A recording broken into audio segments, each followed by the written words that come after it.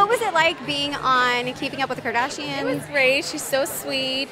You know, it was a lot of fun. We had fun. We actually had lunch with Jonathan, and it was a huge surprise for all of us to, you know, see each other. So it was great. What was your reaction when you saw the Kim in real life? Kind of like just looking at each other a little bit. You know, it was fun.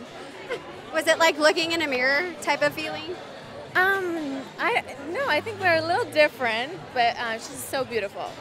Well, you both are.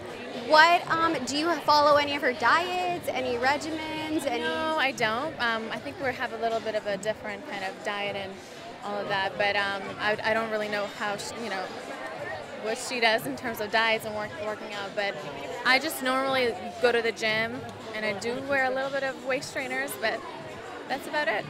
So, what are some of your favorite beauty products? What what can you not live without? Honestly, moisturizer. Like I moisturize a lot, and I put a lot of you know um, Caudalie, the beauty elixir. I love it. You know, I, I feel like the the best thing for beauty is when your skin is naturally healthy, and that way I think even the makeup looks good. You know. So, I know your publicist mentioned that you also work on music. Is there anything that fans can look forward to hearing so- pretty soon? Yes, there's a lot of things that I'm working on, and um, I'm actually in the studio mostly, um, almost every day. So hopefully, you know, we'll see.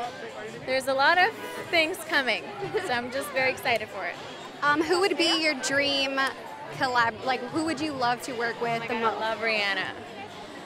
Rihanna is the to- total babe, and I'm so in love with her. I think she's like, I don't know, she's just like the it girl, and I would so love to like you know work with her in the future. So.